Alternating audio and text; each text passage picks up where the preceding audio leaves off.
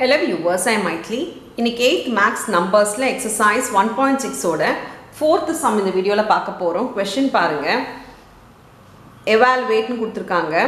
Two by five the whole power four into five by two power minus டூன்னு கொடுத்துருக்காங்க first sum so நான் first sum question எழுதிக்கிறேன். Two by five the whole power four into five by two the whole power minus two நமக்கு base சேமாக இருந்தால் தான் பவரை வந்து ஆட் பண்ண முடியும். மல்டிப்ளையில் பேஸ் சேமாக இருந்தால் பவரை நம்ம ஆட் பண்ண முடியும். ஆனால் இங்கே பார்த்தீங்கன்னா டூ பை ஃபைவ் இருக்குது இங்கே ஃபைவ் பை டூ இருக்குது இது இதுவும் நமக்கு டூ பை ஃபைவாக இருக்கணும். ஸோ இது டூ பை ஃபைவாக இருக்கணுன்றத விட இங்கே பார்த்தீங்கன்னா பவரில் நெகட்டிவ் இருக்குது பவரில் நெகட்டிவ் சைன் இருந்தால் என்ன பண்ணணும்? கீழே இருக்கிறதோட பிளேஸை நம்ம சேஞ்ச் பண்ணணும்.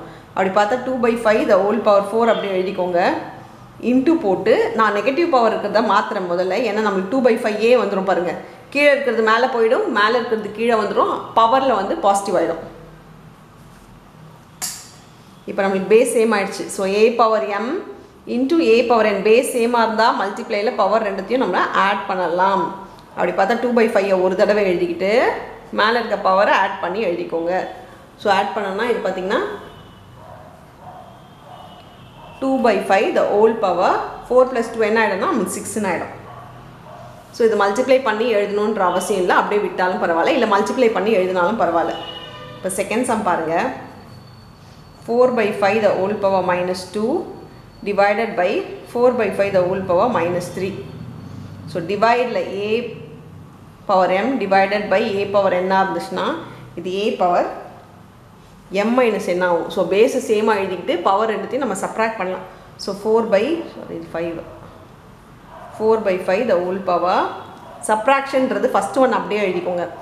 செகண்ட் ஒன்னுக்கு சைன் மாற்றி எழுதணும். எப்பவுமே சப்ராக்ஷனுக்கு என்ன இந்த செகண்ட் ஒன் எம் ப்ளஸ் இருக்கிறது இங்கே என்னன்னு இருக்குது மைனஸ் இருக்கா? ஸோ சைன் மாற்றி எழுதணும்னு ஞாபகம் வச்சுக்கோங்க. ப்ளஸ் இருந்தால் மைனஸ் மைனஸ் இருந்தால் ப்ளஸ்ஸு அப்படி பார்த்தா இது ப்ளஸ் த்ரீ ஆகிடும் ஸோ ஃபோர் பை ஃபைவ் இது மைனஸ் டூ ப்ளஸ் த்ரீ பார்த்தீங்கன்னா ஒன்னுன்னு ஆகிடும் ஸோ ஒன்னா ஃபோர் பை ஃபைவ் தான் வரும். பவர் ஒன்னுன்றது அதே வேல்யூ தான். ஸோ ஃபோர் பை ஃபைவ் தான் இதுக்கான ஆன்சர் இப்போ நம்ம தேர்ட் சம் பார்க்கலாம். தேர்ட் சம் கொஷின் பாருங்கள் two power seven into one by two the whole power minus three இங்கேயும் டூ இருக்குது இங்கேயும் டூ இருந்தால் பெட்டராக இருக்கும். இங்கே ஆனால் நெகட்டிவ் பவர் இருக்கிறதுனால நம்ம என்ன பண்ணலான்னா இது பிளேஸ் சேஞ்ச் பண்ணலாம் பாசிட்டிவ் பவர் ஆக்கிறதுக்கு. இப்போ பாருங்கள் டூ பவர் செவன் இன்டூ இது மேலே போயிடுச்சுன்னா இது பவர் டூ வந்து மேலே வந்துடும் பை ஒன் கீழே எழுதணுன்ற அவசியம் இல்லை.